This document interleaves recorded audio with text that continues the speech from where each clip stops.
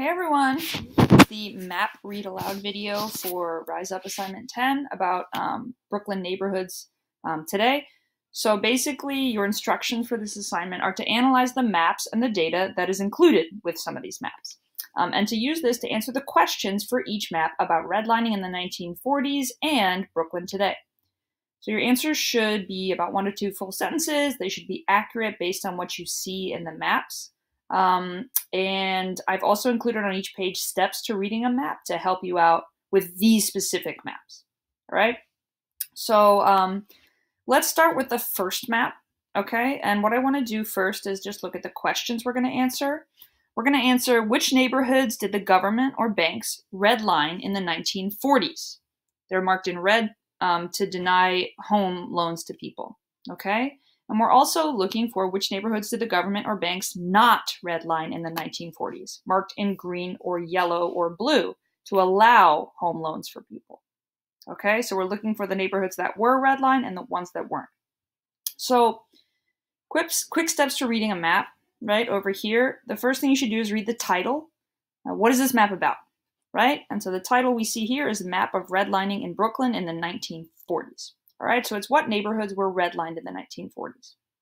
But how do we know which is which? Well, step two is we check the key. What do the colors or symbols on the map mean, and how can we use that to answer our question? Well, our question is what, what neighborhoods were redlined and what weren't, so let's look at the key. It says that the red zones, the ones colored in red, are the neighborhoods that the government considered dangerous, right, because minorities live there, and that um, people in these homes and these neighborhoods were not given home loans. So these were the neighborhoods that were redlined. Okay. Um, and the yellow, blue, or green marked areas, all right, are neighborhoods that were considered safe, usually with mostly white people. And people in these neighborhoods were given home loans. So they were not redlined. Okay. All right. So to answer question one, um, you can follow these steps looking for the red zones, right? You can also look for the labels.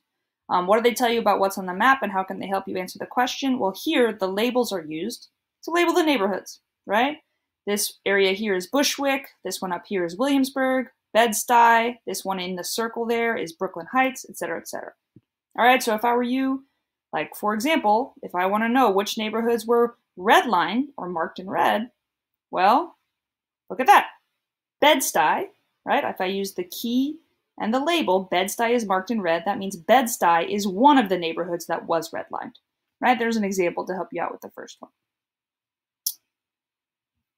Okay, let's go to map two. All right, this is um, the map of Brooklyn in 2018, so closer to, to today. And this map, I'm going to look at the title. It's called Brooklyn Race Map, okay, in 2018.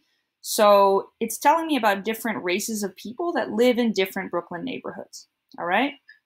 Um, and also on this map and the next one, there's some extra data at the bottom to help you out that kind of gives you the actual breakdown of what percentage of each race lives in each of the neighborhoods labeled on the map. Okay, so for example, in Bed-Stuy, right, um, which is marked up here, with that label and has the color mostly blue in it, right? Well, blue means that um, that it's mostly black people who live there. And if we want to get more detailed, right, we can look down here and say that in Bed-Stuy, it's actually about 83% black, okay? And 11% Hispanic, and so on and so forth, okay? So using that info, you're answering the questions.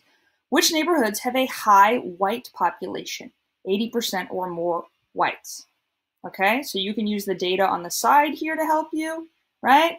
Or you can look for neighborhoods that are labeled that are particularly green because green represents white people on the map. Okay, um, so for example, hmm, Brooklyn Heights looks pretty green. And if I go down here, I look at the information for Brooklyn Heights.